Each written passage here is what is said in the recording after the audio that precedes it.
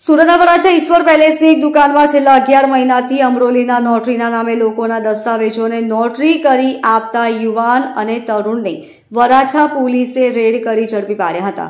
પોલીસે ત્યાંથી નોટરીના નામે બનાવેલા રબર સ્ટેમ્પ, સિક્કા અને અન્ય નોટરી નાસિક સરકારી કચેરીના ખોટા સિક્કા, રબર સ્ટેમ્પ બનાવવાનું મશીન, દસ્તાવેજો કબજે કર્યા હતા.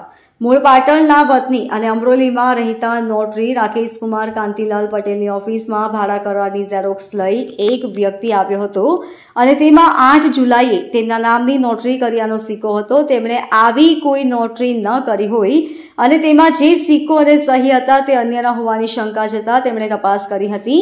તો તે નોટરી વરાછા ઈશ્વર પેલેસમાં આધાર કાર્ડ, પાન કાર્ડમાં સુધારો કરવા માટેની કન્સલ્ટન્સીની ઓફિસ ધરાવતા આકાશ કિરીટ ઘેટિયાએ કરી હોવાનું જાણવા મળ્યું હતું. આથી તેમણે પોલીસમાં અરજી આપી હતી.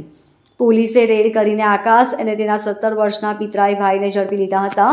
પોલીસ ઓફિસમાં કામ કરતા ત્યાંથી રાકેશ કુમાર પટેલના નામે બનાવાયેલા રબર સ્ટેમ્પ સિક્કા અને નોટરીના સિક્કા, સરકારી કચેરીના ખોટા સિક્કા, રબર સ્ટેમ્પ બનાવવાનું મશીન દસ્તાવેજો મળ્યા હતા.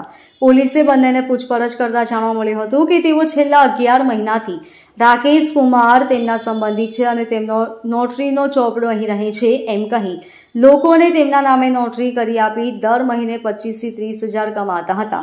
અગાઉ આકાશ હોમ લોન એજન્ટ તરીકે કામ કરતો હતો જ્યારે તરુણ એક નોટરીને ત્યાં નોકરી કરતો હતો. Bureau Report, LK Star News, Surat.